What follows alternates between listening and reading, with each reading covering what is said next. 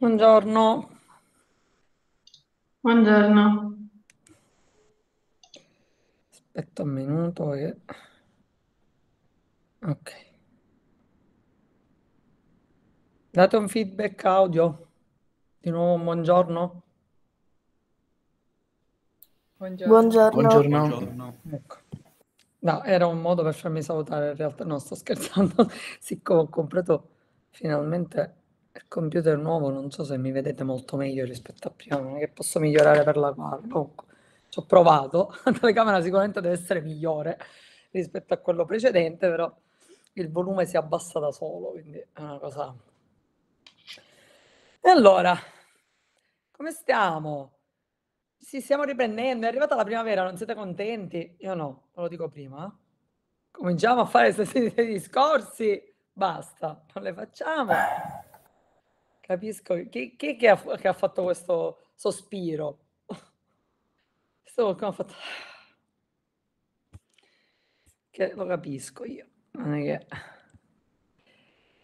Capisco anche che siete stanchi, insomma.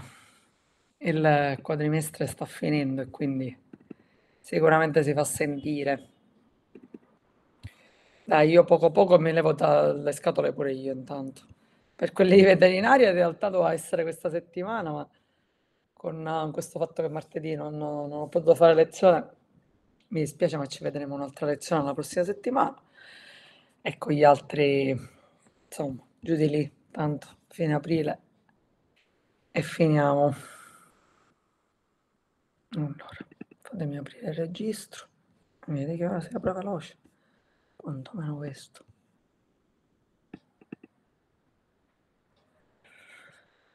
Allora.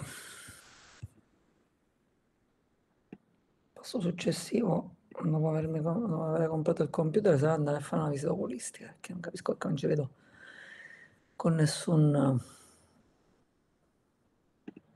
paio di occhiali. E allora.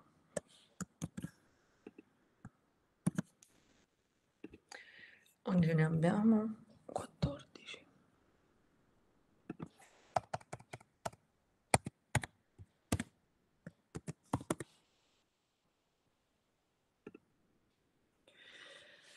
E allora, Meli? Presente. Paciulli? Presente. Talora? Presente. D'Agostino?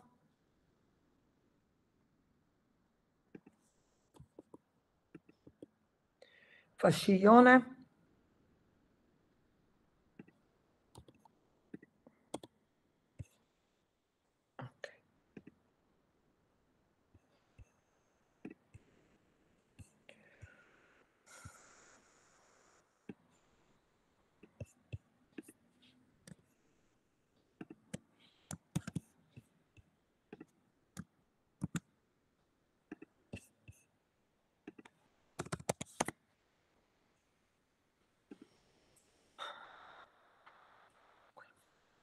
Bernardi, Presente. Bertolini, Presente. De Franco, Presente. Enrico, Presente. Falini, Presente. Gioè, Buongiorno, presente. buongiorno, Giuli, Presente. Niguori Mariano,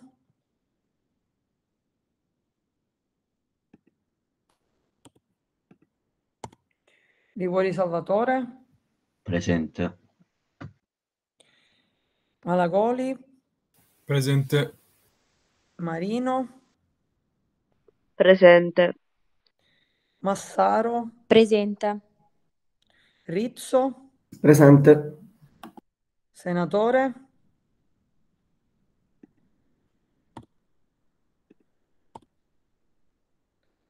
Spedale, Presente. Milano, Presente.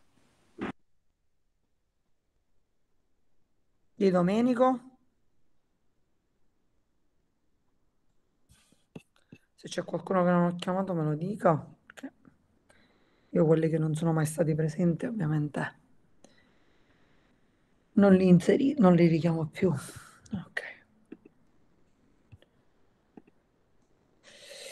Allora, volevo dire ai ragazzi di veterinaria che mi avevano chiesto eh, la possibilità di spostare gli esami, eh, magari una settimana prima di quella che era prevista, che mi pare che fosse il 7 di giugno, qualcosa del genere, non mi ricordo. E, aspetta, prima il calendario. E che io ho parlato con la segreteria, non mi ricordo quando era messo comunque, e non è possibile fare variazioni eh, di alcun genere al calendario già predisposto perché eh, quando noi abbiamo dato la disponibilità, giustamente la disponibilità non l'ho data solo io, l'hanno data anche gli altri, e eh, a prescindere che voi abbiate già ricevuto il calendario o meno, eh, tutti i docenti hanno dato oh, già le, le, date di esami, per cui mh, in quella data che noi avevamo indicato, comunque eh, prima ce n'erano già infilati altri esami, quindi diventerebbe veramente problematico, per cui niente. Evidentemente quest'anno è così, non possiamo fare nessun tipo di modifica, eh, nessuna variazione, quindi ci teniamo quelli che avevamo dato, che ora non ricordo più, non ho qui l'agenda, ma insomma voi li sapete. E, come poi, poi, poi, vediamo. E ovviamente eh, in realtà, visto che i ragazzi di veterinaria finiranno um, martedì l'ultima lezione, eh, chiaramente eh, sia il compito che l'inter- l'interrogazione eh, conterrà gli argomenti, domande sugli argomenti che abbiamo svolto fino a quel punto, ovviamente. Quindi sarò anche un po' obbligata a fare due compiti diversi. Vabbè, comunque, non è un problema vostro, dico, ve lo sto dicendo per dire. E, ehm, chiaramente, visto che non abbiamo potuto fare quella cosa di fare la prova in itinere, e, ehm, in ogni caso... Oh, Ehm, ovvio che cercherò insomma di alleggerire quanto più possibile la prova scritta in modo tale che poi all'orario comunque ce la discutiamo e magari discutiamo gli errori che abbiamo fatto, prendiamo spunto da lì per fare poi il resto. Quindi quantomeno la base di partenza ce la creiamo col compito e poi il, um, con l'orale cerchiamo di, di sanare eventuali problemi, messo che ce ne siano, perché magari siete bravissimi, già prendete 30 allo scritto e quindi all'orale vi chiederò che cosa avete mangiato per Pasquetta e siamo tutti a posto. Non, non ci sono problemi, in ogni caso ci proviamo a fare questa cosa. Va bene, io intanto ho visto e forse è entrato Liguori, può essere? Sì, Luca, dimmi. Ma quindi per noi di medicina non, non è più il 30 maggio la prima sessione scritta? Cioè primo Io, esame, scusi. io Eh, non già. ricordo, io non ricordo quando ho dato le... Eh, boh, ci aveva detto all'inizio il, il 7, solo che poi le avevamo chiesto se potevamo spostarlo perché l'8 avevamo anatomia e, e poi gli aveva detto il 30 maggio. Ah, eravate 29 voi che avevate chiesto? No, pensavo, ma io nel frattempo mi sono bloccata, non so per quale motivo. Aspettate un attimo che al- almeno a me risulta. Ok. E, no, pensavo che fossero stati quelli di veterinaria a chiedermi di spostarlo. No, allora valeva per voi. No, mi hanno detto che non potevo fare spostamenti perché già per quel giorno c'era stato settato- fi- fissato un altro esame. Così mi è stato detto e così vi riferisco. Io avevo chiesto, quando ho fatto questa variazione della, eh, della lezione di mm, martedì. Quindi le date rimangono quelle che avevo dato inizialmente, che ora in questo momento non ricordo perché non ho l'agenda. e ne riparliamo settimana prossima, tanto quelle erano. non- mi pare che era il 7 di giugno. Sì. Quindi c'è qualcuno prima che comincio che è entrato in ritardo perché sennò chiudo poi. Io, prof, buongiorno, Liguori Mariano. Sì, infatti eh, devo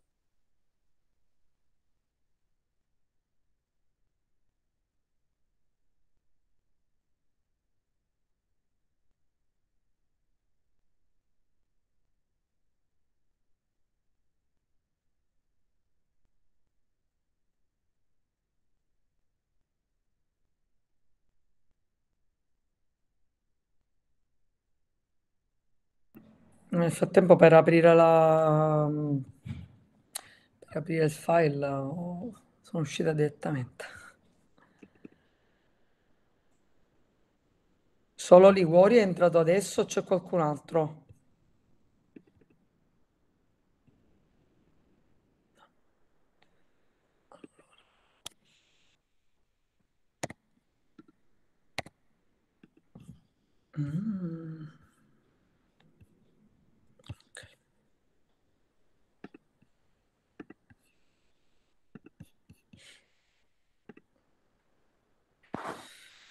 Va bene. Allora.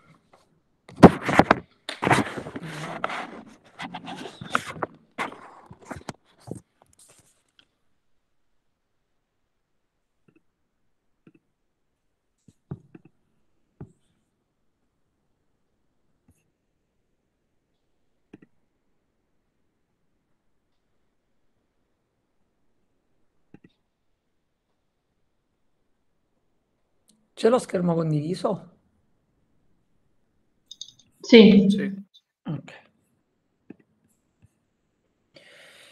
Allora, stavolta forse la sintesi serve ancora di più perché ci siamo lasciati eh, praticamente una settimana fa, e, ehm, quindi dobbiamo un attimo ricominciare davvero dall'inizio, e, ehm, dove dall'inizio abbiamo cominciato a uh, parlare eh, di um, idrocarburi. E cominciando a parlare di idrocarburi, abbiamo, uh, che praticamente sono delle molecole che sono composte da carbonio e idrogeno, abbiamo fatto la prima eh, classificazione alifatici e aromatici. E ehm, sostanzialmente quello che abbiamo detto era che poi, intanto non parlavamo degli aromatici, abbiamo parlato degli alifatici, che si potevano ulteriormente classificare in saturi e insaturi. E, cominciando a parlare di quelli saturi eh, e quindi degli alcani. Eh, in realtà i cicloalcani sono venuti a seguire e la differenza risiede nel fatto che avendo una forma ciclica già sicuramente dovevano perdere per forza due idrogeni perché per chiudere eh, diciamo la molecola sicuramente eh, al solito dobbiamo ricordarci quanti legami può fare il carbonio quindi sicuramente eh, era una cosa che dovevamo aspettarci e ehm, un'altra delle cose che abbiamo visto quando abbiamo parlato dei cicloalcani eh, era il fatto che eh, potessero avere una conformazione diversa, quella per intenderci a sedia o a barca, e la differenza risulta eh, nel fatto che eh, a secondo la conformazione assolutamente spontanea che acquisisce eh, una di queste molecole, eh, risulta più o meno stabile.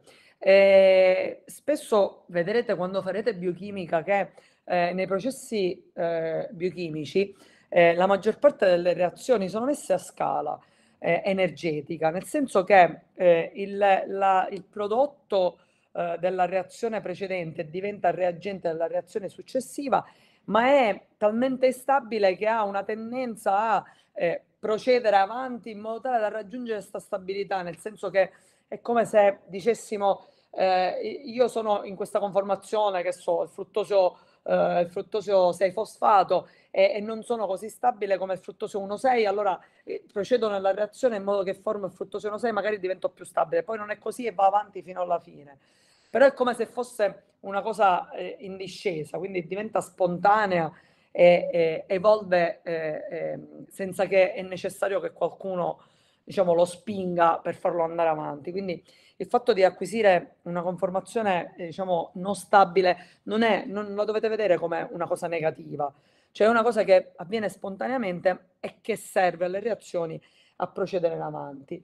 E una delle cose fondamentali che eh, permettono la formazione di queste conformazioni diverse e quindi la stabilità diversa risiede nel fatto che eh, se avete avuto modo Ehm, anzi, eh, chiedo scusa, ringrazio Larissa per avermi ricordato di caricare la lezione quando io non la faccio subito, eh, ricordatemelo perché talvolta poi mi sfugge, e ehm, di eh, vedere un po' i legami come se eh, fossero eh, diciamo assiali o equatoriali. E a secondo di come sono legati ai carboni che sono vicino, giustamente creano una sorta di ingombro sterico, cioè sono troppo vicini e chiaramente si respingono perché è come se, a prescindere dalle cariche, avessero meno spazio. Quindi anche e soprattutto come sono legati eh, i gruppi attorno al carbonio centrale eh, determinano eh, o meno la formazione, la conformazione che eh, queste molecole acquisiscono. ovviamente la prima cosa di cui abbiamo parlato sono gli isomeri. Anche questo è una di quelle cose che vedrete spesso uh, nella biochimica perché eh, le forme isomeriche sono spesso presenti, a volte raggiungono, sono proprio delle, dei punti di passaggio. Poco fa dicevo il fruttosio, dal glucosio al fruttosio è una forma isomerica, dal citrato all'isocitrato nel ciclo di Krebs è una forma isomerica. Quindi di che cosa parliamo quando parliamo di un isomero? Un isomero è, è un, una molecola che ha eh, la stessa forma bruta, eh, formula bruta di, del, del, dell'altra molecola, eh, però eh, ha praticamente una diversa disposizione eh, degli atomi nello spazio.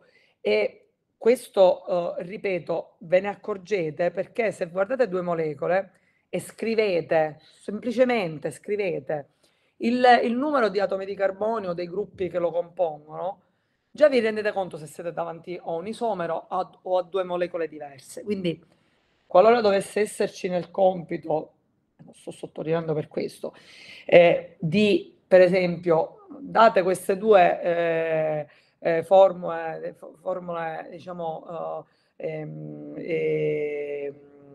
del, de, di struttura mole, di due molecole, dire se sono isomeri o meno. Basta semplicemente scrivere prima la forma bruta e vedere se, hanno stesso, se, se è un, un C2H6 e tutte e due sono C2H6 ma cambia come erano impostati nello spazio e nella struttura, allora capiamo che sono due isomeri. E in realtà abbiamo fatto la classificazione in uh, isomeri di struttura e, e, e, gli isomeri e la stereoisomeria, diciamo, eh, in cui degli isomeri di struttura, che viene definita anche in realtà eh, un, un, isomero uh, costituzionale, eh, sono quel, quel tipi di isomeri in cui eh, il, gli atomi nella molecola sono concatenati in modo diverso. E infatti in questo contesto avevamo fatto una classificazione in um, isomeri di catena, di posizione o di gruppo funzionale. E, mentre per quanto riguarda la stereosomeria, eh, che è invece più eh, rispetto a quella che è un'isomeria costituzionale, diventa un'isomeria eh, diciamo nello spazio, quindi spaziale sostanzialmente, in questo caso cambia proprio eh, la configurazione della, della, molecola. In realtà più che la configurazione cam cambia l'organizzazione spaziale perché poi all'interno di questa classificazione, quindi degli stereosomeri, abbiamo fatto un'ulteriore, un, un'ulteriore classificazione eh, in conformazionali e configurazionali. Eh, in cui quelli eh, configurazionali erano quelli che poi infine si distinguevano in enantiomeri e, e diastereoisomeri. E la differenza consisteva nel fatto che entre gli enantiomeri sono degli isomeri eh, che sono uno l'immagine speculare dell'altro, eh, i diastereoisomeri invece non lo sono. Eh, ricordiamoci che proprio per questo, questo avevamo detto, eh, abbiamo parlato della chiralità, indicando come eh, eh, la chiralità come una proprietà in realtà eh, del, del, della molecola e quindi in generale eh, che ha uh, degli atomi che sono disposti in un certo modo nello spazio e in cui la sua immagine non è sovrapponibile all'immagine speculare. Perché se è sovrapponibile, allora eh, in realtà è, è, è, è detto achirale. Ricordatevi sempre il discorso della, ehm, della sedia allo specchio che avevo fatto vedere. Cioè quando due molecole sono veramente identiche e non abbiamo dei dubbi su come potrebbe essere impostato, allora è sicuro che l'immagine è, è sovrapponibile eh, all'immagine speculare e quindi siamo in presenza di una molecola achirale. Mentre se non lo è, diciamo che abbiamo qualche dubbio partendo da questo, eh, in realtà avevamo definito anche il, il, lo stereocentro o eh, anche, eh, diciamo, vabbè, l'avevamo definito come stereocentro, quindi definiamolo così, viene più facile, eh, o il centro stereogenico, vabbè, come lo trovate, lo trovate, insomma, quello vuole intendere, che avevamo identificato come quella molecola in cui c'era il carbonio centrale legato a quattro gruppi diversi, dove per gruppi non intendo per forza gruppi composti da più atomi, potrebbe essere anche solo un idrogeno, ma devono essere tutti e quattro diversi. Allora, eh, noi, io eh, stamattina dopo che sono andato a correre alle 6, non avendo niente da fare, ho deciso di cimentarmi in questi modellini che in realtà sono a, a, allegati, annessi alla, al testo che avevo consigliato, che ritengo essere invece molto graziosi e molto utili. Allora, questo è il metano. Eh, vi presento la molecola di metano e in realtà eh, dico, sarebbe molto più facile, potremmo utilizzare questo visto che per ora col gas abbiamo qualche problema oggettivamente. E, allora, intanto ricordatevi la forma tetraedrica di cui abbiamo parlato, che solo in questo modo ci rendiamo conto che ha. Che ha. In realtà io ho preso dentro un, un atomo di carbonio e l'ho legato, quindi non è difficile capirlo in questo modo. E qui però ci sono giustamente tutti gli atomi di carbonio, diciamo, non abbiamo problemi di individuare altri, altri punti. Il punto è se per esempio prendiamo una molecola del genere. Allora, questo è un centro uno stereocentro, un centro stereogenico, 1, 2, 3, 4, sono i quattro gruppi. Lasciamo stare cosa intendono, non, ha importanza, questo per il cloro, questo è l'idrogeno, no? poco importa. Sono quattro diversi, quindi di fatto abbiamo rispettato quella regola che dicevamo prima perché questo carbonio possa essere individuato come stereocentro. Ovviamente ricordiamoci che all'interno di una molecola ci possono essere anche più di uno stereocentro. Quindi questo è così. Allora, se dovessimo capire se la molecola è in realtà chirale o achirale, basterebbe fare un'altra molecola di questa che ha la stessa forma. Ora io non so come metterla per farvela vedere, però se voi guardate in questo modo, queste due molecole, le dobbiamo vedere, così. Ok?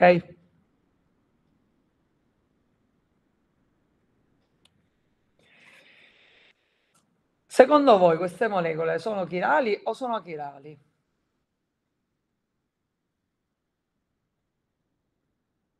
Cosa dobbiamo fare per capirlo? Sovrapporle. Ok, come le sovrappongo? Allora, se le sovrappongo così,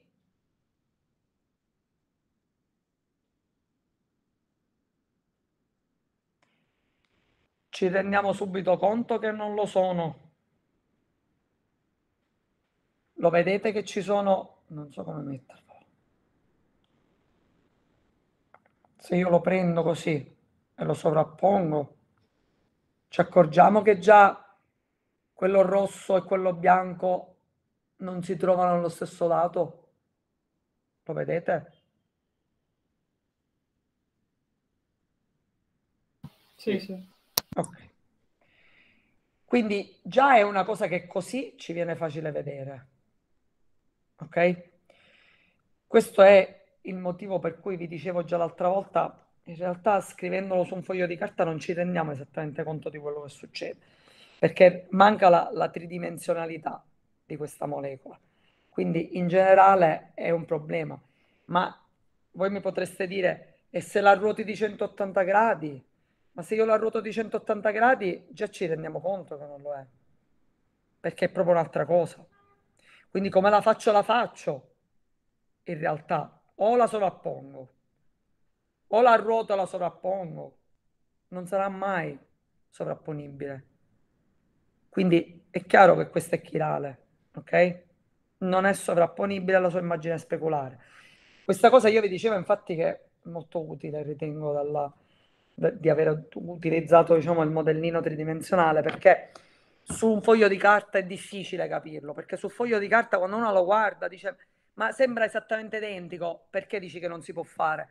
Perché dobbiamo avere un, un punto di riferimento che deve essere univoco per capirlo.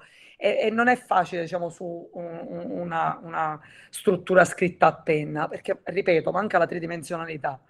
Bisogna avere la tridimensionalità, infatti vi faccio vedere un altro esempio qui, che in realtà è presente anche nel libro, che forse ve lo fa capire anche, diciamo, se non avete la struttura qui, uh, questa tridimensionale, su, sulla, sulla, realtà della, della, situazione. Quindi in generale diciamo che il, il problema è proprio questo, cioè di capire che quando parliamo di immagine speculare, noi abbiamo un'immagine che ruotandola, sovrapponendola, quello che è, riusciamo a sovrapporre fedelmente l'immagine che avevamo prima, che abbiamo prima, cioè quella con cui la stiamo paragonando, altrimenti sicuramente non lo è. E io chiaramente non, non è che vi chiederò di fare una cosa del genere, però dico, spero che questo, anche perché adesso vi farò capire quanto è importante in realtà il discorso della chiralità, perché sembra al solito non ci rendiamo conto della, dell'importanza, diciamo, delle, eh, delle cose che studiamo, perché ci sembrano sempre distantissime, come se, a me che me ne frega, se c'è un isomero o non c'è un isomero, e alla fine una forma alternativa, vabbè, eh, quindi, cioè, e invece, quindi, eh, per quanto riguarda soprattutto i farmaci, è una cosa fondamentale, ma in realtà vedremo che non è soltanto una questione di farmaci, quindi ehm, è meglio, diciamo, riportarle alla, alla, alla, normalità e quindi alla vita eh, di ogni giorno per cercare di capire quanto è importante quello che stiamo guardando. E, e in ultimo, appunto, già avevamo parlato di questo, quindi non ci ritorno. Ovviamente abbiamo lasciato il discorso in sospeso proprio di questi centri stereogen- stereogenici o stereocentri. E se guardiamo questa cosa, ripeto, eh, no, abbiamo difficoltà perché ci, ci manca la, la, tridimensionalità delle molecole. Questo in realtà l'ho messo non per quello, perché tanto ormai ve l'ho fatto vedere diciamo, in diretta, live, questo discorso della sovrapposizione delle, delle molecole in tridimensionale, quindi si capisce meglio come, di che cosa stiamo parlando, ma per ricordarvi che quando vedrete scritte eh, delle, ehm, delle eh, linee, diciamo, un po' diverse come queste, e non come semplici legami, eh, ribadisco ciò che avevo già indicato la scorsa volta, il fatto che il cuneo a punta pieno intende dire che quel gruppo esce verso eh, chi guarda, mentre quello tratteggiato va in profondità verso l'esterno. E questo è importante perché, ripeto, al solito a noi ci manca la, la tridimensionalità, per cui quantomeno questo ci aiuta a capire come cambia. Poi questa della forma esagonale, adesso ci torniamo quando facciamo i composti aromatici, è un'altra struttura che in, genere deriva da quello che è il capostipite di queste strutture aromatiche, che è il benzene, eh, in cui quando indicheremo due lineette del genere indichiamo un doppio legame che in realtà poi potrà essere presente in più di uno, eh, come, come, vediamo in questo momento. Eh, questo ve lo faccio vedere per quello che dicevo prima. Vedete, queste due immagini, se le guardate, sembrano identiche, perché in realtà l'idea sarebbe, se io l'omino che ho qui, questo omino di qui, io lo sovrappongo a questo davanti di faccia a faccia, in realtà sono identici. Però l'omino che è dietro, cioè questo omino qui in realtà, ci ha appoggiato la, il braccio destro sulla macchina fotografica, mentre questo mino di qui ci ha appoggiato il braccio sinistro, quindi non può essere mai uguale, perché già abbiamo due braccia diverse. Ecco perché vi dicevo, ci manca a noi il riferimento, se non avevamo capito bene questo discorso, è perché ci manca intanto la profondità, che è quello che abbiamo acquisito col modellino tridimensionale, il fatto di avere una cosa del genere in cui deve essere destra con destra, non destra con sinistra, grazie che se no si appaiono, ma non sono la stessa cosa, sono due cose diverse. Quindi è sempre il punto di vista che, che cambia dovete, a cui dovete stare attenti. Una delle cose fondamentali è come andare a studiare l'isomeria, cioè come sono stati identificati gli isomeri, la presenza in una miscela di isomeri diversi eh, della stessa molecola. E in realtà quello che è stato fatto è stato utilizzare un polarimetro. Un polarimetro è una struttura, è uno strumento eh, come questo eh, indicato qui eh, in figura, eh, in cui c'è eh, in realtà viene inserita in un tubo che viene definito proprio un tubo portacampione la sostanza da studiare eh, che dovrebbe essere teoricamente presupponiamo una sostanza attiva perché non è detto che siano tutte attive E, in realtà poi viene eh, diciamo, irradiato con un fascio di luce polarizzata in base a come esce la luce, eh, nel senso proprio come raggio, eh, come ehm, deviazione del raggio, eh, in realtà eh, capiamo eh, se si tratta di tutta una, una, miscela contenente lo stesso, lo stesso isomero oppure in cui è presente una miscela di due isomeri, per esempio. Quando sono presenti in una miscela due isomeri, per esempio, quindi è una miscela in realtà e non una, una, uh, un campione omogeneo con un solo isomero, in realtà questo tipo di eh, sostanze eh, vengono chiamate eh, delle sostanze racemiche. in realtà eh, queste sostanze, queste miscele racemiche eh, sono eh, genericamente sono otticamente inattive, ecco perché dicevo non, è sempre, perché eh, in realtà ognuno di questi eh, eh, isomeri, eh, come quello che abbiamo visto prima, no? ne possiamo avere uno e l'altro che sono opposti. Quindi genericamente se uno devia la, la luce verso destra o in senso orario, intendiamo così, ecco, in senso orario, l'altro isomero la deverà in senso antiorario e siccome le, la deveranno dalla stessa, uh, dalla stessa, dallo stesso angolo, quindi dalla stessa dimensione di angolo come rotazione, uno sarà positivo e l'altro sarà negativo, quindi sarà come se si annullassero. Ecco perché quando noi abbiamo una miscela eh, di un miscuglio oh, racemico al 50%, in cui sono presenti due isomeri al 50%, in realtà di, definiamo quella, quella, miscela otticamente non attiva. Non perché non fosse, non, non perché è inattiva, ma perché si annulla, diciamo, con i due racemi presenti. Ecco perché. E genericamente questo cambia da uh, sostanza a sostanza. Uh, questo è il discorso di cui parlavo prima e in realtà eh, quest'asse, eh, la luce polarizzata, può essere diverso a secondo di eh, qual è il composto che stiamo analizzando. Infatti, come vedete, potrebbe, potrebbe essere oscillatorio o ondulatorio a secondo di che cosa stiamo parlando e potrebbe avere in realtà un, un andamento che viene definito sinistrorso o destrorso. Questa è una delle cose che eh, vedremo, almeno per chi rimarrà e poi per chi farà comunque biochimica sicuramente in un modo o in un altro un minimo di questo lo rivedrà, eh, ce ne sono tantissime e hanno delle proprietà diverse eh, a partire dai carboidrati stesso, eh, stessi, diciamo come forme eh, in cui abbiamo delle, eh, eh, delle, delle deviazioni diciamo, della luce diverse e quindi vengono identificate eh, proprio con dei simboli che adesso vediamo, giusto per identificare qual è l'isomero eh, con cui abbiamo a che fare. Anche perché in funzione degli isomeri eh, noi eh, siamo in grado più o meno di eh, riuscire a digerire certi legami o a far avvenire certe reazioni. Quindi è importante che si sappia di che cosa stiamo parlando.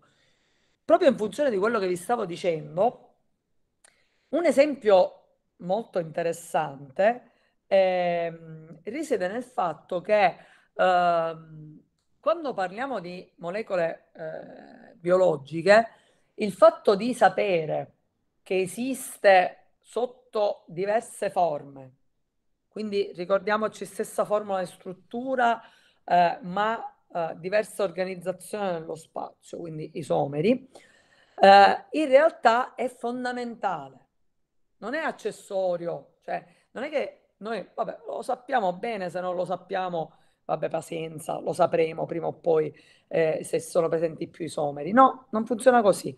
Noi dobbiamo saperlo assolutamente a monte perché qui per esempio ci trovate eh, un esempio che parla della talidomide.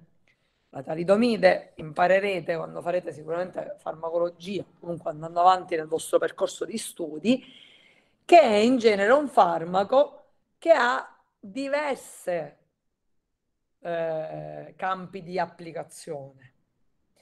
E questo è proprio in funzione del fatto che sia presente un isomero o un altro. In realtà il, um, questa molecola ha un, un centro stereogenico, uno, è uno, uno stereocentro, che è quello che è indicato lì, e in funzione del tipo di isomero che abbiamo a disposizione, con cui abbiamo a che fare, eh, in realtà indichiamo, sempre per quel discorso della luce polarizzata, lasciate stare la R e la S che adesso guardiamo cosa intendono dire, ma attenzionate il, la, la, polarità, che era quella eh, della, di cui parlavamo prima dell'attività ottica.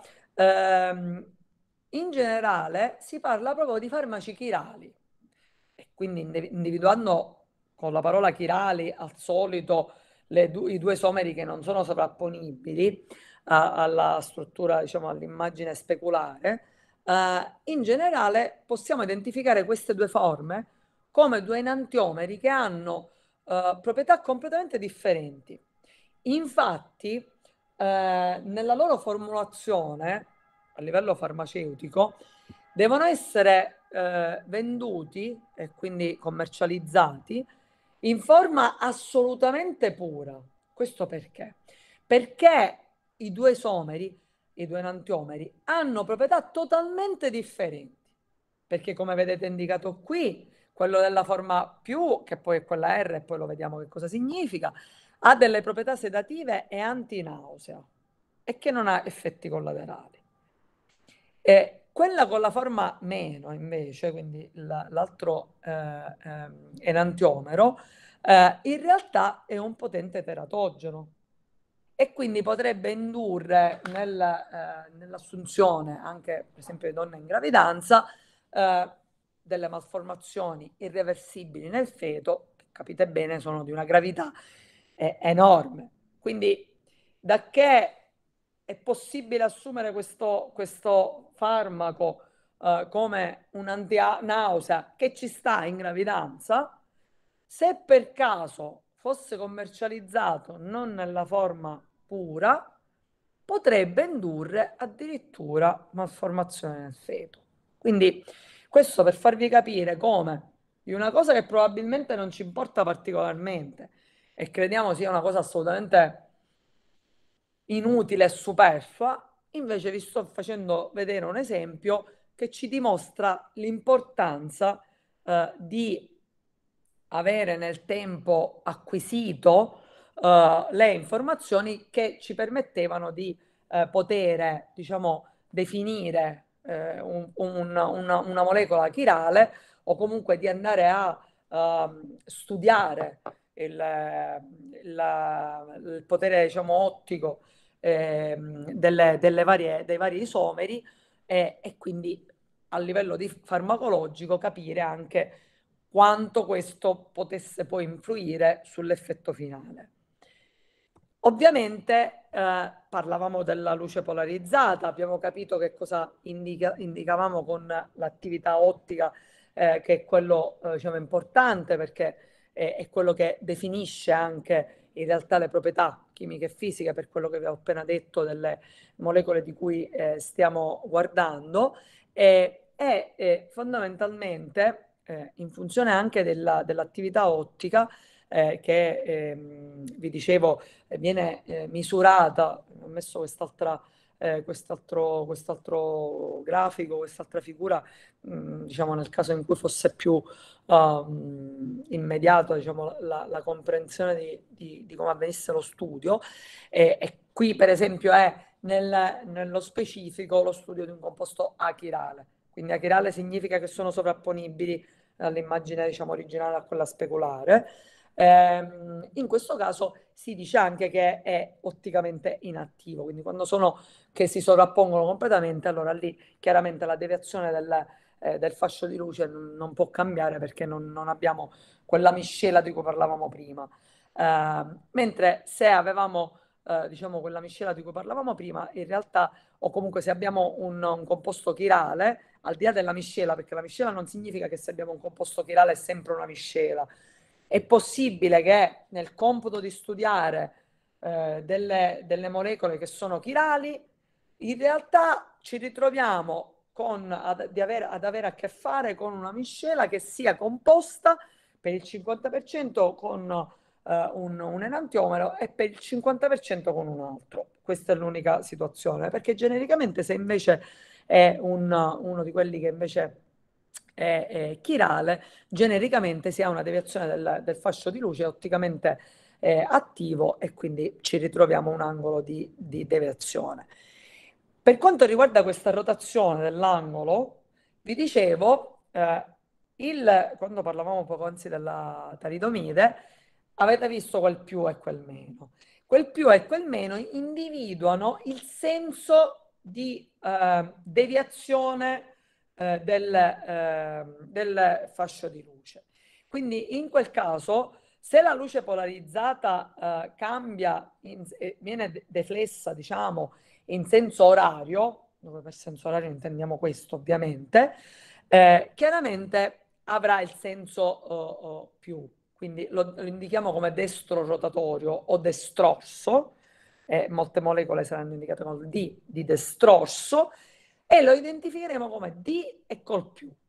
Genericamente si scrive o D o più, non si, non si mettono entrambi perché proprio per sottolineare ulteriormente, o si scrive D o si mette più. Comunque, noi sappiamo che indichiamo la stessa cosa.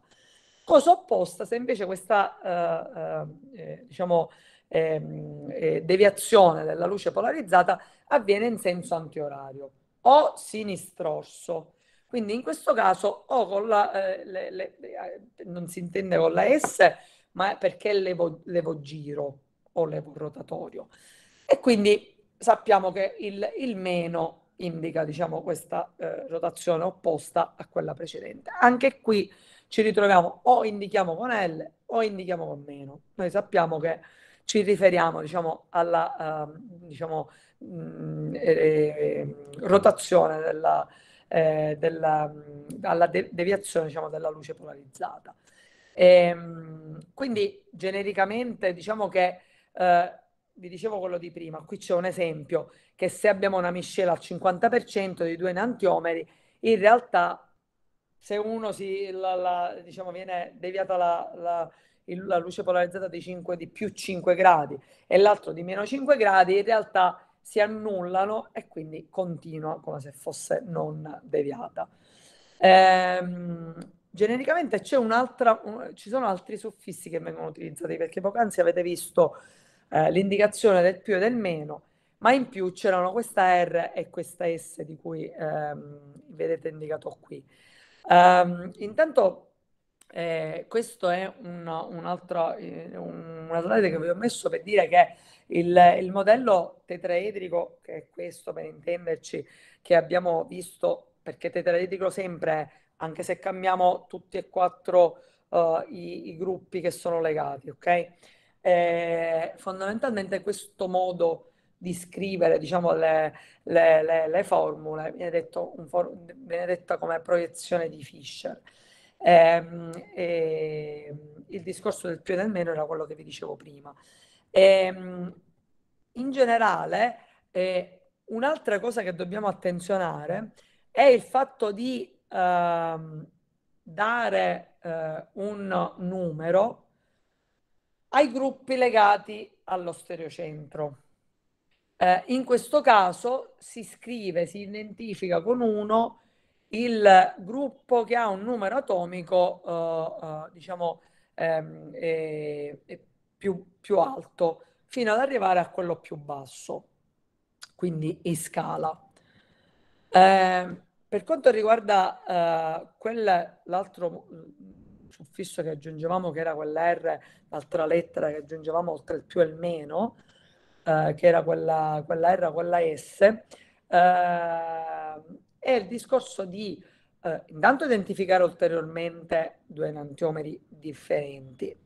Eh, poi questo modo di identificare con RS viene anche definito come sistema di CAN, eh, Ingold e Prelog, e in questo caso, non è che dobbiamo ricordarcelo, o chip, che è la stessa cosa, perché di solito si scrive diciamo, nella, nell'acronimo, ehm, in questo caso eh, dobbiamo prima eh, identificare quello che vi dicevo prima, quindi il, il, il gruppo o l'atomo comunque che ha il numero atomico uh, maggiore, poi in base al numero decrescente, quindi dal più grande al più piccolo. E in questo caso, eh, come vedete qui, qui c'è un esempio, eh, il bromo è quello che ne ha di più, mi ricordo adesso che il numero atomico ha forse 35-36, fino ad arrivare all'idrogeno che ce l'ha 1. Quindi come vedete l'ordine di priorità viene messo in questo modo. E, ehm, in questo caso, eh, ovviamente, eh, qui c'è un esempio, ehm, il discorso di dare eh, un... Uh, identificare eh, il, il numero atomico eh, quindi quello che ha una maggiore priorità, lo indichiamo con 1, eh, in realtà che poi per esempio in questa molecola l'1 è questo. Um, quindi per esempio dobbiamo vedere questo. Poi un'altra cosa importante è se al carbonio, che è lo stereocentro, noi ci ritroviamo comunque legati a un carbonio, perché ricordatevi che quando noi ci troviamo scritto un CH3 o un CH2, ovviamente scritto così non vuol dire che il carbonio sta legando l'idrogeno, perché ricordiamoci sempre che l'idrogeno può fare un legame soltanto. Quindi in realtà eh, al carbonio sono legati eh, tre idrogeni da un lato e lui lega il carbonio, eh, lega l'altro carbonio dall'altra parte. Quindi se ci viene il dubbio, eh, in generale, chiaramente eh, quello che dobbiamo fare è andare a vedere a chi sono legati. Perché qui, per esempio, il carbonio lega tre idrogeni, mentre qui in realtà eh, lega due idrogeni e un carbonio. Questo qui. A cui sono leva- legati altri tre idrogeni.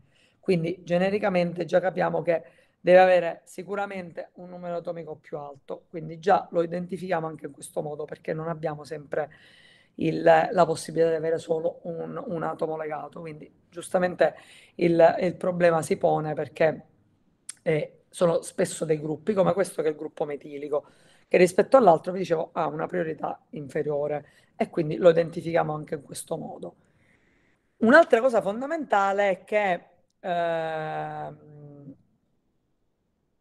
lo vedremo, perché noi la faremo di qua alla fine, almeno con quelli di medicina, quando parleremo degli enzimi, gli enzimi, anche gli enzimi hanno questo problema, perché gli enzimi possono trovarsi eh, come, eh, diciamo, uh, eh, enantiomeri diversi. Ora, eh, qui fa l'esempio della gliceraldeide, per esempio. se vedete, la R-gliceraldeide o la S-gliceraldeide ehm, in realtà hanno una differenza eh, come, eh, diciamo, ehm, affinità e quindi superficie di legame che è diversa perché mentre quella del gruppo R, come vedete qui, si può legare eh, a, a, tutti i siti qui del, dell'enzima, in realtà questo no, perché c'è, c'è questo che non, non, non è diciamo, complementare. Quindi in realtà eh, è una di quelle cose che determina quale dei due enantiomeri presenti avrà maggiore affinità per legare il, eh, l'enzima, eh, il, il, substrato, tra, del legame dell'enzima substrato, perché poi vedremo che il legame enzima-substrato avviene ehm, tramite un riconoscimento tipo chiave serratura, in cui in realtà avviene questa situazione di qua. Quindi se questa è la molecola, il substrato per intenderci, questo è l'enzima, eh, come vedete qui ci sono quattro punti di legame rispetto a questo invece in cui ce ne sono tre perché questo non può legarlo come conformazione. Ora, al, al, di là che lo vediamo, guardate per esempio questo che è una specie di cubo e qui c'è la forma a cubo. Quindi questo potrebbe entrarci, questo invece è tondo e questo è cubico, quindi un po' come quando sicuramente eravate piccoli e avevate eh, quella specie di palla in cui ci, ci mettevano il, le palle, le cose tonde nelle cose tonde, i triangoli nei triangoli, il quadrato nel quadrato e se provate a infilare il quadrato nel triangolo chiaramente non c'entrava. Quindi qui è la situazione identica e la stereosomeria in realtà ci dà contezza di quella che è la, eh, l'importanza e quindi poi l'utilità eh, nell'ambito diciamo del um, riconoscimento eh, tra enzima e, e, substrato. L'enzima è un esempio, però è, è, fra quelli che in realtà eh, incontreremo più spesso eh, nel, diciamo, durante le, eh, la, la, parte diciamo, poi di, del riconoscimento delle, delle varie molecole. Un'altra cosa importante, e poi facciamo una pausa, eh, sono i composti che vengono definiti meso. Uh, quindi intanto definiamo a poco a poco, allora intanto definiamo un composto meso come un composto achirale. Quindi achirale significa che la, uh, la, la sua diciamo, struttura può essere sovrapposta, l'immagine può essere sovrapposta all'immagine speculare, assolutamente identica. Quindi intanto è, è achirale, quindi può essere sovrapposta ehm, e contiene poi anche dei centri stereogenici, quindi c'ha uh, in questo caso un centro stereogenico ehm, e, e, e, in realtà ehm, in, questo, in, questo, in questo tipo di eh, struttura eh, e quindi lo possiamo identificare qui. E, ehm, allora, no, stavo guardando perché mi veniva il dubbio che fosse uno o due. Ma ditevelo due, se, ditevelo voi se qui è presente uno o due centri stereogenici. Intanto qual è la regola? Per individuarlo.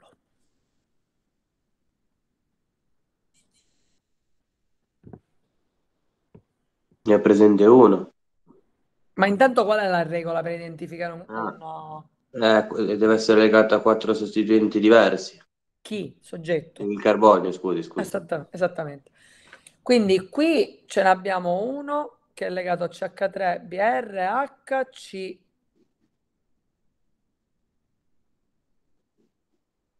C con una serie di cose. Qui in realtà, siccome sono identici, anche questo è legato a, esattamente alla stessa molecola e poi a questi tre. Quindi, come ha detto giustamente Luca, ho indovinato? Sì, sì, ho indovinato, grazie. eh, come ha detto Luca, giustamente qui c'è solo uno stereocentro. Quindi questa è l'idea. Ma poi abbiamo già quando definiamo achirale, quindi le immagini sono speculari, è difficile che ce ne siano più di uno. È più probabile che ci siano più stereocentri in molecole achirali. Ok?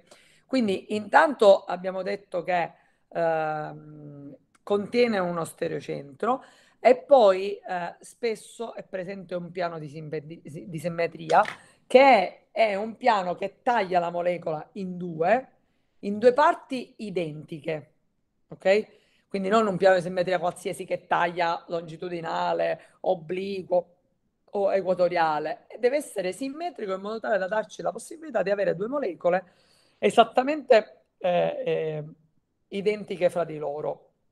Questo è sempre lo stesso esempio eh, che vi fa vedere questo di come, eh, come sia formato. E eh, genericamente il, eh, mm, il, il piano di simmetria è un piano interno e quindi in realtà potremmo ruotare la molecola su se stessa ma non cambierebbe nulla. Un'altra situazione è questa che vedete qui perché il piano in realtà eh, a secondo dipende allora quello che abbiamo visto noi come era disegnata la molecola e come era la molecola tagliava in modo uh, assiale, diciamo, la molecola in due. Però se la, la, molecola ha una struttura come questa indicata qui, ovviamente non potremmo tagliarla in modo longitudinale perché divideremo il carbonio a metà e chiaramente deve dividere due, la molecola in due, non gli atomi in due. Quindi chiaramente in questo caso abbiamo un, un tipo di piano di simmetria equatoriale e quindi anche in questo caso potete vedere che le due metà sono assolutamente identiche e quindi ci rendiamo conto che questo è un composto meso oltre che essere una molecola achirale. Quindi genericamente le due cose, come vi dicevo prima, vanno accoppiate. Va bene, allora facciamo 10 minuti di pausa. Aspetta un attimo, non so chi è che sta parlando. Sì. Sì, volevo dirvi che io sono entrato alle 10.25. Va bene. Adesso mm, segno. Ok, ci vediamo fra 5 minuti, 10 minuti.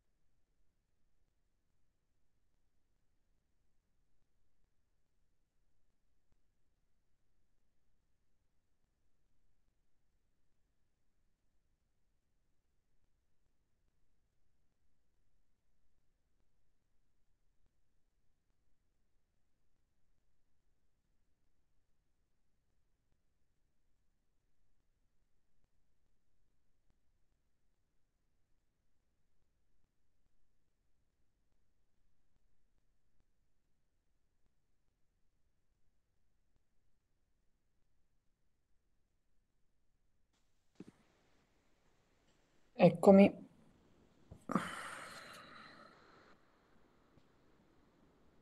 Capisco perché se si mette sta cosa più bassa allora. Allora. Prima dobbiamo condividere lo schermo.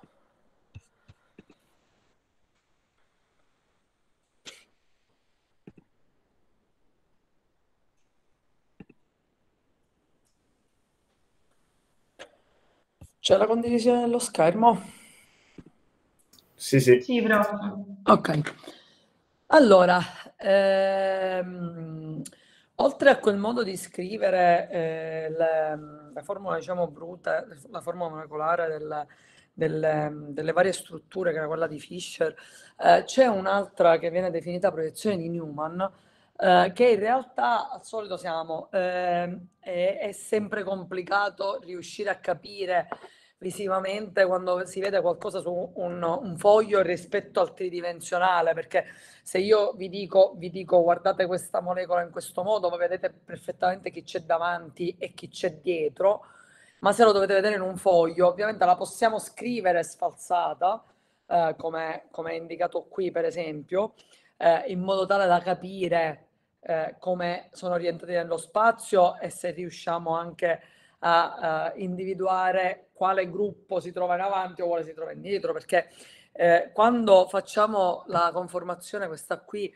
eh, con eh, le, le, le, mh, i, i, bastoncini e, e, e, e le palline, viene complicato, cioè fino a quando lo scriviamo come è scritto qui, allora al limite con quel discorso di scrivere eh, il cuneo pieno o tratteggiato, al limite possiamo anche identificare chi è il gruppo che va dietro e chi che va avanti, però genericamente è complicato. Poi se la forma è, eh, come c'è scritto qui, eclissata, praticamente davanti, se sono identico alla parte di dietro, eh, copre completamente, quindi noi non vedremmo nulla. Quindi genericamente ci sono queste due conformazioni eh, che possono essere presenti ehm, e eh, genericamente eh, eh, vengono identi- identificate proprio come sfalsato e clissate a secondo eh, del fatto che eh, abbiamo appunto questa, ehm, questa possibilità di vedere tutta la molecola oppure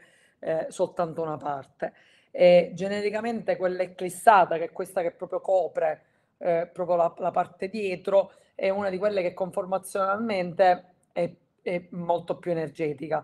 Eh, quindi non è, cioè, è, come se fosse pronta ad esplodere, quindi eh, genericamente è, è instabile e quindi vorrebbe sicuramente evolvere per cambiare la sua posizione. E ritornando a quella di Fischer, qui c'è una proiezione sul piano che quantomeno ci fa capire un po' di più eh, come quando guardiamo sul piano in realtà traslata a livello diciamo pseudo tridimensionale ehm, capiamo come, come sono disposti poi nello spazio perché come vedete teoricamente noi abbiamo questi due gruppi legati qua proprio come se li vedessimo di fronte ma poi abbiamo la Y che viene verso di noi e la eh, W che va verso dietro.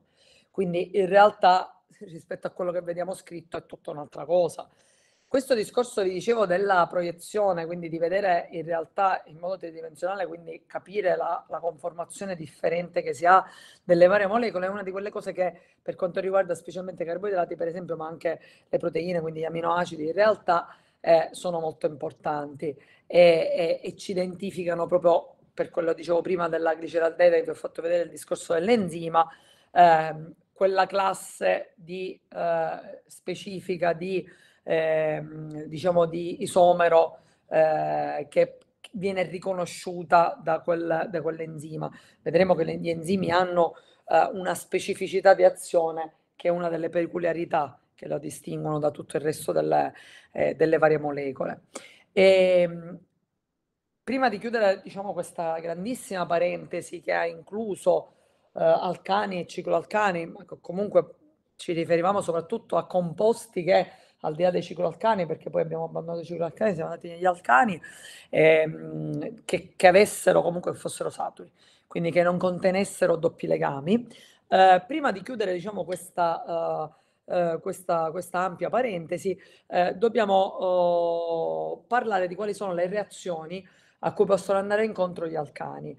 Eh, genericamente non sono delle molecole molto reattive, eh, infatti spesso, per esempio, fanno parte di, quella, di questa classe di eh, idrocarburi le, la, la, paraffina. La paraffina, lo sapete che di solito si utilizza come un materiale inerme eh, in cui eh, poi eh, si, si, utilizza di solito come eh, lubrificante, come qualcosa che serve per fissare o mantenere qualcos'altro, cioè non ha un ruolo reale. Questo perché appunto eh, possiamo beneficiare delle, della, della, sua, ehm, eh, della sua diciamo, ehm, consistenza, ma anche della sua non reattività. Per cui non partecipando alla reazione, eh, diciamo,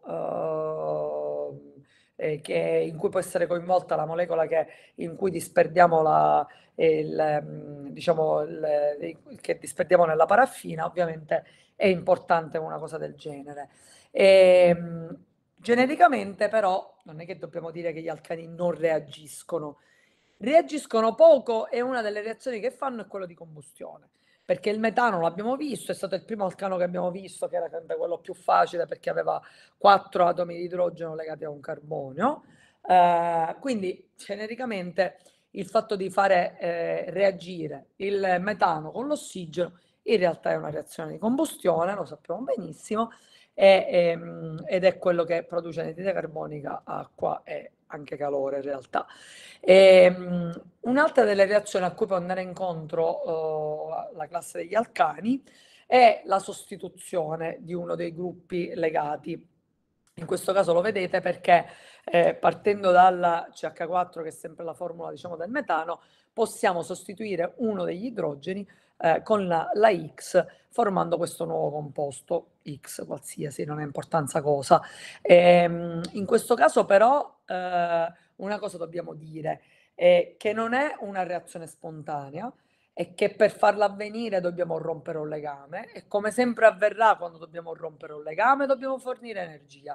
Quindi questa è una di quelle reazioni che definiremo endoergoniche quindi, o endotermiche, per cui non è una reazione spontanea, è una reazione che va forzata per avvenire e ehm, genericamente non è l'unica eh, perché qui vedete ci sono altri esempi ehm, per esempio la colorazione del metano, che è un altro di quello che eh, può essere formato, che viene anche definito in realtà clorometano, eh, perché sarebbe CH3Cl, ehm, però dico genericamente non è l'unico, perché come vedete eh, con gli alogeni diciamo che ci va d'accordo eh, e quindi potrebbe dare luogo ad, altre, ehm, ad, altre, ad altri tipi di molecole.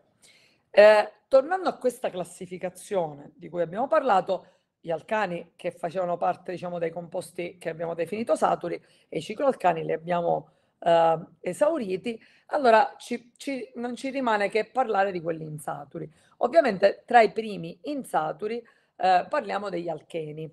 Uh, allora, intanto dobbiamo dire che gli alcheni sono fra quelli che presentano un doppio legame, sono insaturi, quindi abbiamo presenti un doppio legame eh, e, e, in questo caso chiaramente eh, le molecole che presentano una situazione del genere a livello planare, proprio che hanno in cui i due carboni sono legati tramite un doppio legame, già sono più rigidi cioè avranno, mentre il metano di cui parlavamo prima comunque è una di quelle, sost- di quelle molecole che, che, può ruotare tranquillamente, eh, diciamo che eh, genericamente ehm, è eh, più complesso eh, ruotare, fare ruotare, diciamo, è più rigida ecco, come struttura degli alcheni.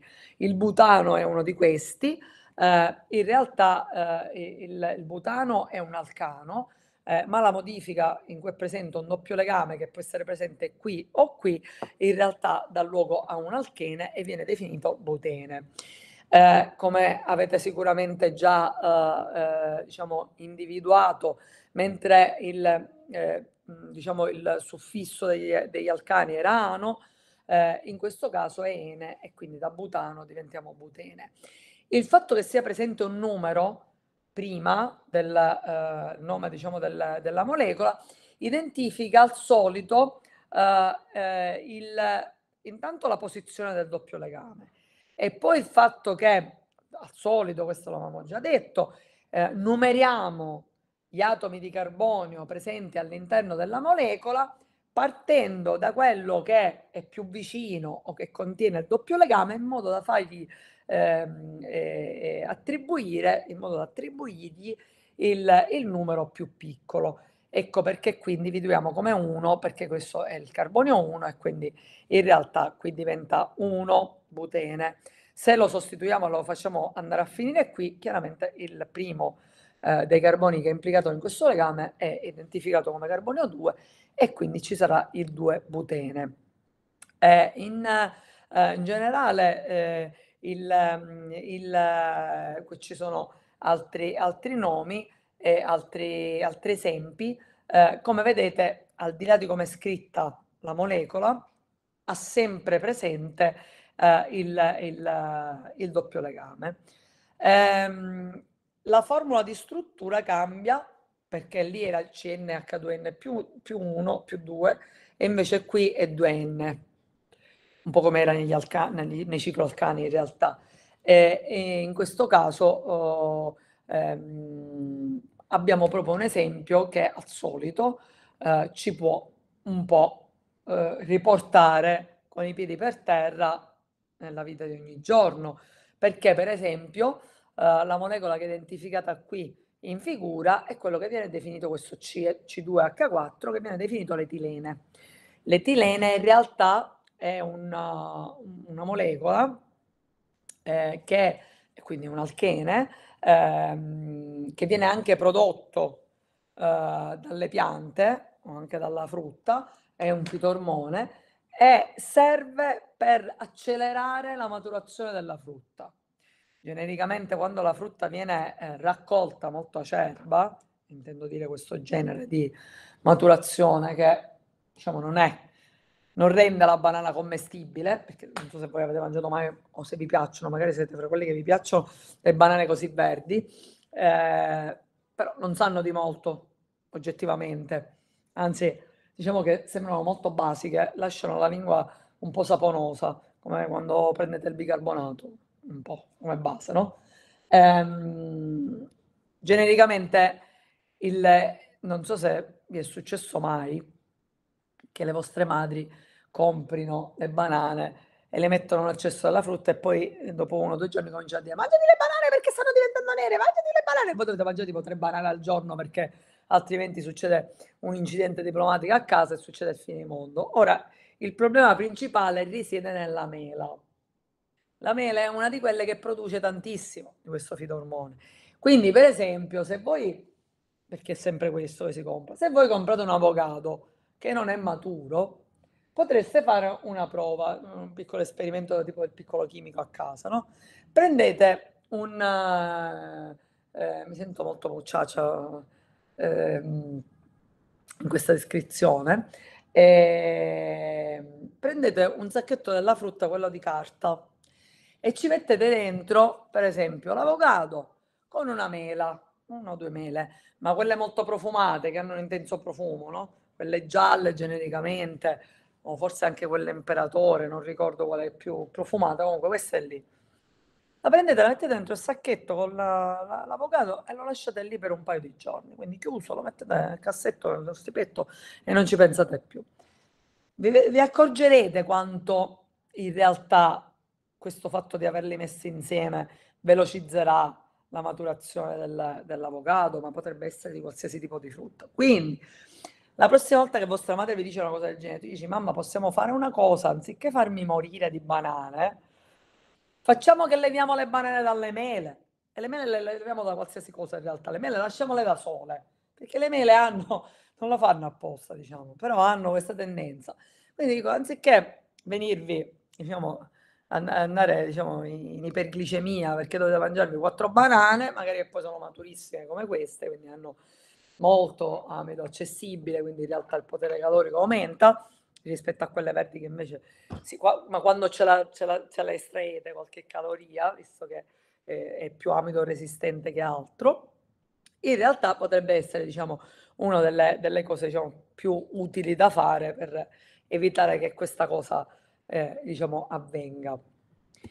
Eh, genericamente anche per il, eh, gli alcheni ehm, c'è quella uh, stereoisomeria che abbiamo descritto per gli alcani all'inizio, uh, cis-trans, in cui, se vi ricordate, noi indicavamo eh, in una teorica molecola in cui sono presenti, eh, per esempio come qui, legati due idrogeni e due metili, in realtà se questi si trovano sullo stesso lato, e allora abbiamo una conformazione che viene definita cis. Se invece si trovano sfalsati, come vedete qui c'è un CH3H, CH3H, rispetto a CH3 CH3 sullo stesso lato, allora questo viene definito come trans. Trans nel senso, no, non quello che state immaginando voi. In questo caso, per sapere quanti eh, isomeri geometrici eh, forma, diciamo, eh, quel tipo di molecola, basta utilizzare questa uh, formula, uh, cioè 2 elevato n. E in questo caso uh, n è, indica il numero di doppi legami presenti all'interno della molecola. Quindi siccome qui ce n'è presente 1, 2 elevato n, 1 fa 2, quindi sappiamo che ne esistono due isomeri cis-trans. Quindi lo possiamo anche prevedere a monte quanti eh, isomeri eh, diciamo di quella eh, data molecola sono presenti. Questo diciamo, è molto facile da ricordarci, non è complicato. Ehm, una cosa fondamentale è che ehm, quando in una molecola è presente eh, un doppio legame, allora abbiamo visto che parliamo di alcheni, ma se sono presenti per esempio due doppi legami, allora proprio per indicare questo, questa presenza di due doppi legami, allora lo identifichiamo come dieni se sono tre sono trieni e così via, per arrivare ai polieni che sono quelli che ne hanno più di eh, in genere eh, eh, 7, 8, in realtà fino a 9 in realtà possiamo individuare, diciamo poi arrivato a un certo punto indichiamo come polieni e, e ce li mettiamo tutti. Eh, questo per esempio il 2 esene eh, in realtà eh, ne contiene uno, però in realtà qui ne manca uno perché eh, è presente un altro doppio legame eh, ed è presente eh, perché vedete qui lo, lo vedete dalla, uh, dalla, mh, dalla scritta perché se voi leggete solo un numero già vi identifica che c'è soltanto un doppio legame presente. Ma se sono presenti come questo 3 metil 2 sene allora già vi deve indicare eh, quello che succede. In realtà questo ve lo dice vi, vi dice vi in, indica nel caso della sostituzione di un gruppo metilico, di un idrogeno con un gruppo metilico, dove è presente, su quale carbonio è presente.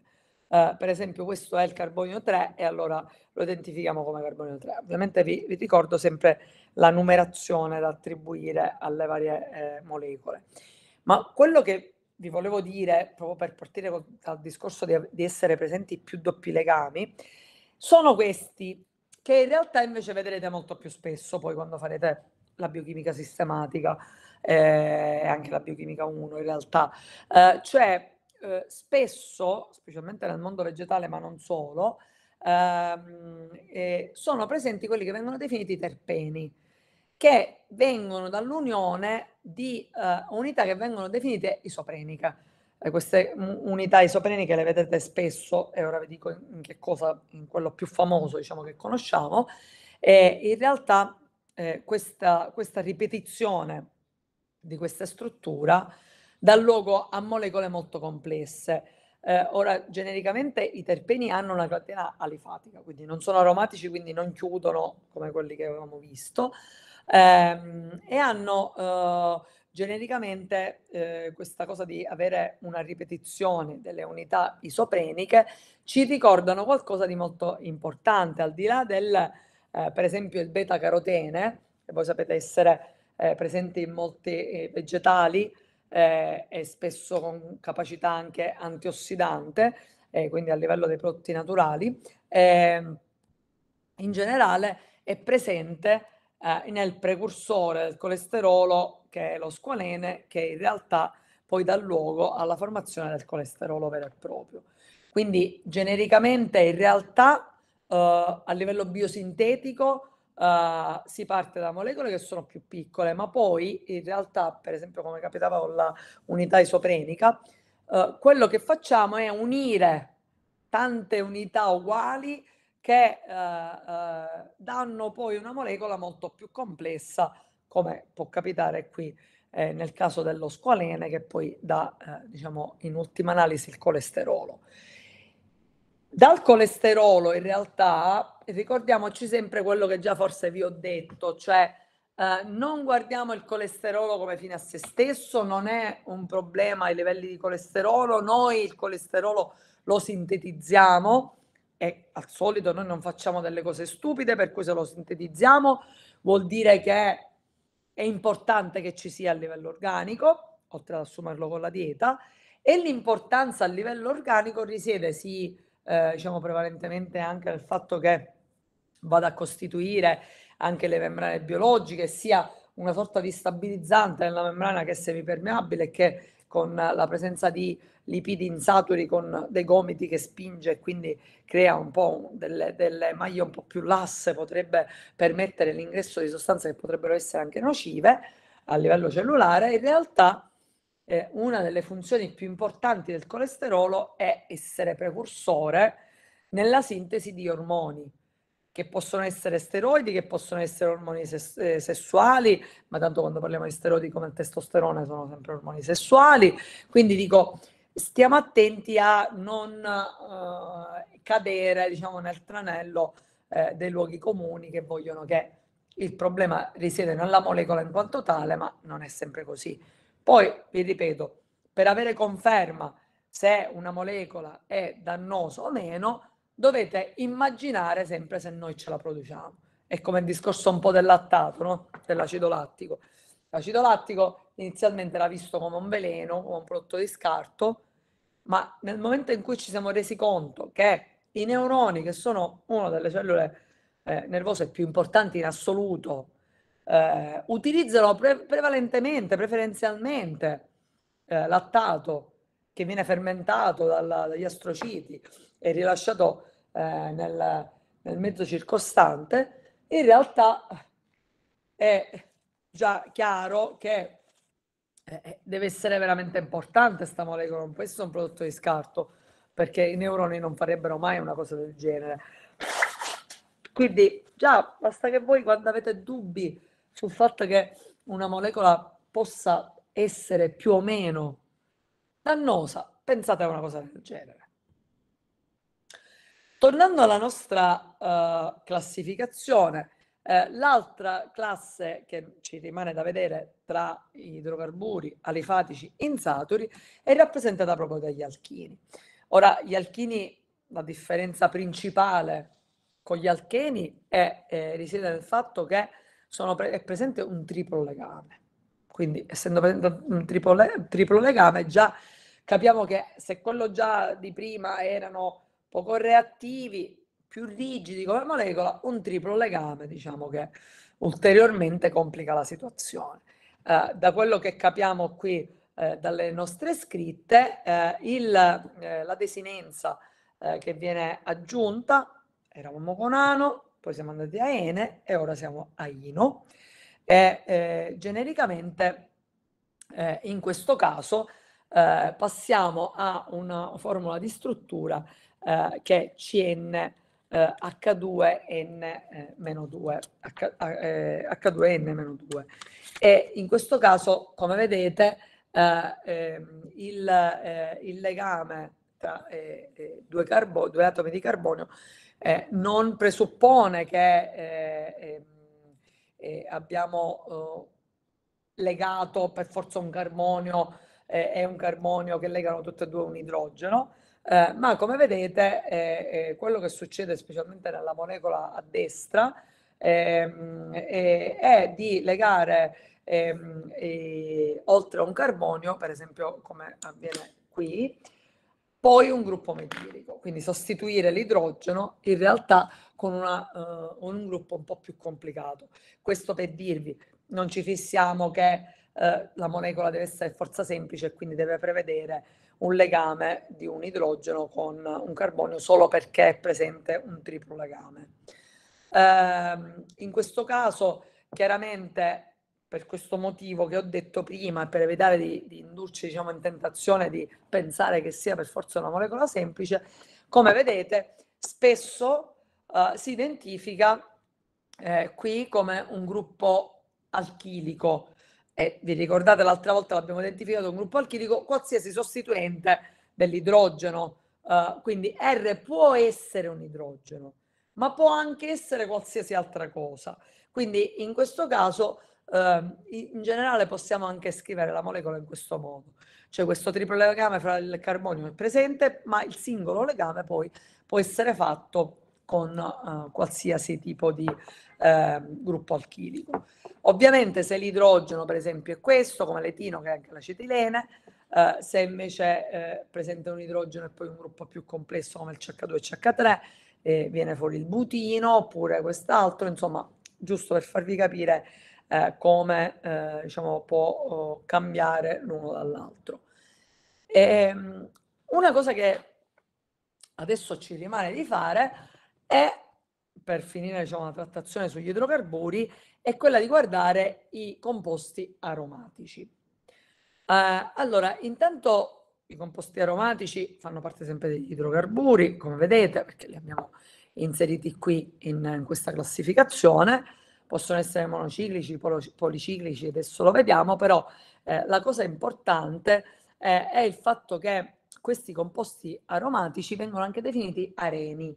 Io lo dico non perché sia fondamentale, ma perché è possibile che nel proseguo degli studi individuate ogni volta oppure possiate eh, diciamo imbattervi in una scritta del genere e non avete idea di che cosa stiamo parlando. Quindi è un composto aromatico, un idrocarburo nella fattispecie. Eh, e genericamente sono formati da, come vedete qui, da un esagono, quindi 1, 2, 3, 4, 5, 6, ehm, quindi a 6 atomi di carbonio. Eh, genericamente eh, monociclico significa soltanto un esagono, quindi un solo anello, e eh, l'esempio tipico, quindi quello più semplice, è questo che ho identificato qui, che è un C6H6, che sarebbe il benzene. E, e, genericamente dovremmo scrivercela per capire come fare a formare tutti i vari legami, ok? Perché altrimenti non lo capiamo, anche perché ricordatevi immediatamente, se io penso a un carbonio C6H6 significa ogni carbonio lega un idrogeno, genericamente poi devo tenere sempre in considerazione che questa struttura deve chiudersi è che io devo rispettare sempre quel discorso di fare quattro legami. Quindi in generale la, la presenza dei doppi legami uh, rientra proprio in gioco per questo, cioè per creare una struttura che possa chiudersi uh, soddisfacendo sempre quella, uh, quella, quelle, quelle, regole che avevamo detto sin dall'inizio. In questo modo ehm, eh, la possiamo scrivere così quando non individuiamo nulla, eh, noi sappiamo sempre che c'è un carbonio eh, e un idrogeno che sono legati insieme eh, e che chiaramente è una struttura insatura perché presente, sono presenti doppi legami eh, e quindi sarà anche molto instabile, per cui tenderà a reagire e a formare qualcos'altro. Ehm, in generale, ehm, quando eh, diciamo, non sono presenti dei gruppi in sostituzione che legano il carbonio, eh, si scrive anche una cosa del genere e quindi quando non sono presenti neanche gli idrogeni, per cui ci sono dei doppietti, dei, degli elettroni che sono spaiati, cioè sono, non, non, non vengono condivisi, in realtà si usa mettere questo cerchio al centro. Questo cerchio al, al centro identifica eh, la presenza di eh, elettroni spaiati, quindi non coinvolti, mm, non condivisi con un altro, un altro eh, elemento, con un altro atomo e genericamente li mettiamo diffusi perché in realtà tutti i carboni lo presentano. Vi stiamo dicendo che se è necessario possiamo formare dei doppi legami, lo possiamo formare con qualsiasi dei carboni presenti lì. E quindi diciamo teoricamente, il fatto di scrivere il tonnino dentro è come se dicessimo la nuvola elettronica è uh, uh, presente e, e, e a livello della molecola in modo diffuso omogeneamente su tutta la molecola. Quindi non è eh, spostato verso una parte o verso l'altra della molecola, ma diciamo delocalizzata, lo, localizzata, ecco, localizzata in generale su tutta la, la, la molecola. E, genericamente una struttura come questa del benzene eh, è una struttura comunque abbastanza stabile, anche se eh, quando presenta i doppi legami, comunque, anche se comunque non, diciamo, non è il massimo della stabilità, ma comunque genericamente questo succede. Vi dicevo, gli idrogeni comunque possono essere sostituiti, eh, nel caso per esempio del, eh, della sostituzione di un idrogeno con eh, un gruppo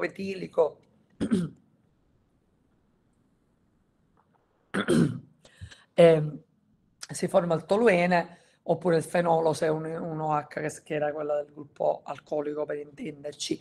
Quindi in questo caso c'è una sola sostituzione di un, uh, di un, uh, di un, uh, di un idrogeno. E un'altra cosa che avevo dimenticato di dirvi è che vengono chiamati composti aromatici proprio perché in generale hanno proprio questo caratteristico odore molto intenso perché anche, eh, prima vi ho fatto vedere il fenolo, il fenolo è una sostanza che viene utilizzata in laboratorio tantissimo, uh, ma che eh, eh, in generale ha un odore molto forte, che se, una volta è successo a un professore così che per, eh, durante l'esperimento insomma è stato un po' maldestro e si è buttato di sopra questo, questo, questa sostanza che in realtà è un, è un po' neurotossica, quindi diciamo aspirarla, infatti di solito si utilizza sotto una cappa chimica proprio perché non è diciamo, l'ideale aspirarlo così eh, all'aria aperta. E, ma eh, dopodiché si è intriso tutto il maglione, insomma, non si poteva stare in tutto il dipartimento in cui lui andasse camminando, infatti diciamo, era, non so se poi abbia avuto effetti a lungo termine, però eh, in realtà al di là dell'odore che può essere più o meno importante, e, e, e anche la pericolosità della, della, sostanza con cui abbiamo a che fare. Un'altra cosa fondamentale ehm, che dobbiamo diciamo, attenzionare è eh, la nomenclatura dei composti aromatici, sempre monociclici, perché policiclici significa più di un anello legato insieme, quindi la sostituzione viene proprio collegata a un altro anello. E eh, in questo caso eh, noi abbiamo Uh, per esempio, il sostituente in posizione 1 non viene identificato con nessun acronimo, uh, mentre già appena siamo, uh, il, eh, per esempio, i sostituenti qui nel, nei numeri pari, quindi nel 2 per esempio, eh, e quindi anche nel 6, eh, vengono identificati come orto, quindi in realtà o, scriviamo soltanto O.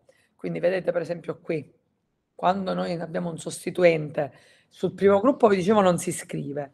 Sul secondo già mettiamo una O e sappiamo che questo, uh, questo uh, tipo di molecola ha, presenta un sostituente, in questo caso il bromo, in posizione 2.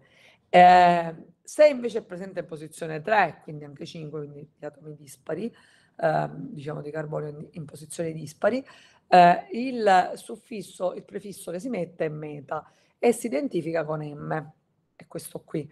E come vedete è presente sia nella posizione 1, ma vi dicevo non si identifica, sia nella posizione 3. Uh, eh, stessa cosa se lo troviamo in posizione 4. In posizione 4 in questo caso si, si, si iscrive come para e anche qui però si mette soltanto una sigla, una P e noi sappiamo che lo abbiamo identificato eh, in, in questo modo.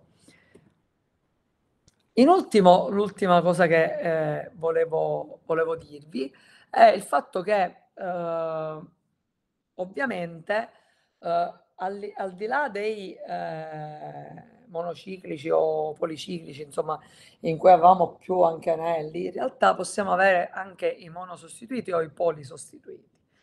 E chiaramente, esattamente come succedeva eh, per le molecole che avevano eh, uno o più sostituenti, era quello che ci eravamo detti quando nella molecola identificavamo eh, lo stereocentro e abbiamo detto lo stereocentro lo identifichiamo nel carbonio in cui è, è presente il carbonio che lega quattro gruppi diversi. Eh, in realtà qui quando parliamo di poli non parliamo di molecole che hanno uh, uh, per forza tutti idrogeni sostituiti, uh, ma in realtà che possano essere presenti più di due gruppi in sostituzione.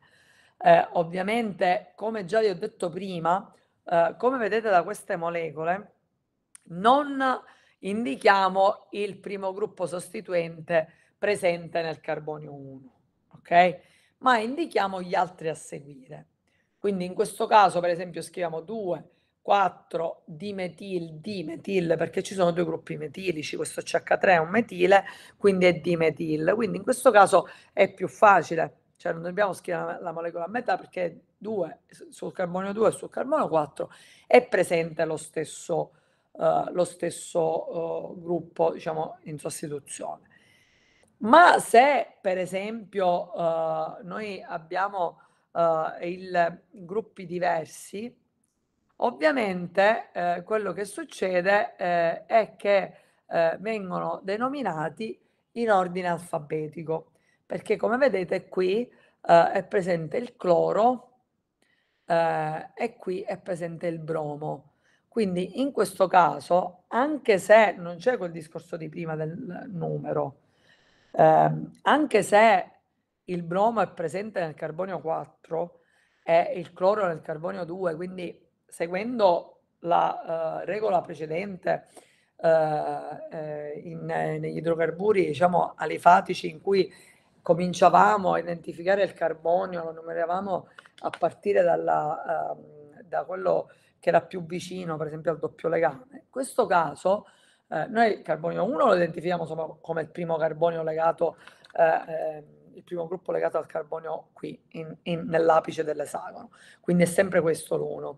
Dopodiché però, da lì a seguire la numerazione, però quando lo scriveremo, in realtà non, tene, non terremo conto del numero, ma terremo conto soltanto dell'ordine ehm, alfabetico. Quindi il bromo rispetto al cloro viene prima e quindi noi diremo 4 bromo perché è presente nel carbonio 4, questo sì lo dobbiamo dire, 2 cloro anilina poi. Mentre nel caso come questo, per esempio, giusto giusto il cloro e il metile sono già in ordine alfabetico. Quindi scriveremo 2 cloro, 6 metilfenolo. Il fatto che noi non scriviamo quello in posizione 1 è perché quello in posizione 1 dà il nome già alla molecola. Perché come vedete qui, vado un attimo indietro, il fenolo, come vedete, ha un sostituente sul carbonio 1 dell'idrogeno che è un gruppo alcolico, 1H. Qui, in questo esempio, come vedete c'è un OH. Quindi questo è un fenolo che poi abbia delle sostituzioni, quello noi lo dovremmo indicare a monte della molecola. Ma poi, come vedete qui, questo è un fenolo. Quindi fenolo rimane. Poi prima noi dobbiamo indicare però se ci sono sostituenti dove sono presenti. E quindi scriveremo uh, due, tenendo il discorso dell'ordine alfabetico, 2 cloro, che è presente qui sul carbonio 2, 6 metil, dovremmo dire metile, ma poi 6 metile fenolo non, non, non suona bene, e allora si dice 6 metil fenolo. Quindi mi raccomando uh, il discorso di ricordarci che il sostituente in posizione 1 dà già il nome alla molecola. Ok?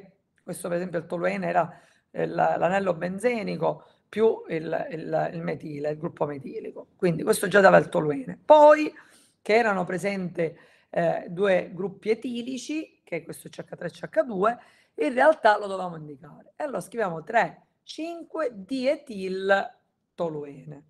Quindi identificare sempre il primo gruppo che è quello che ci dice che molecola è, quindi dà il nome alla molecola, E poi da lì sappiamo che la numerazione avverrà dal primo in senso orario, quindi 1, 2, 3 eh, sarà sempre in questo senso, e quindi poi eh, eh, diciamo, mh, identificare il, il, il, sostituente in ordine alfabetico, quindi prima eh, rispetto al dopo, quindi in questo caso eh, sono uguali? No, ma in questo caso in cui c'era il cloro e il metile, chiaramente il cloro veniva prima e quindi scriveremo 2 cloro 6 metil eh, e poi enolo, eh, fenolo. E, mh, qui per esempio sono sempre due gruppi metilici, quindi al solito identifichiamo soltanto la posizione. 2 4 di metil e questo nitrobenzene perché sapevamo già che c'era questo, eh, questo gruppo oh, nitrico diciamo, legato alla, al benzene, quindi questo era. Va bene, allora io mi fermerei qui per oggi. Ehm...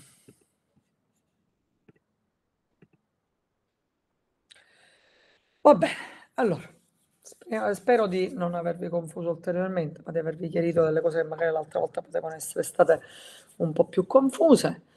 Eh, ci vediamo martedì. Allora, con questi cambi di calendario ho capito che è meglio che ogni volta facciamo un controllo incrociato. Quindi vi risulta che martedì abbiamo lezione dalle 9 alle 11?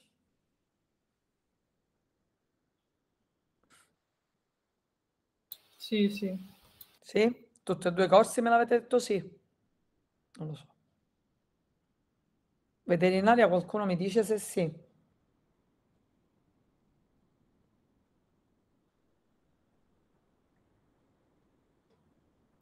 Sì, prof. Ok, va bene. Va bene, allora vi auguro buon fine settimana, vi auguro una serena Pasqua a voi e alle vostre famiglie.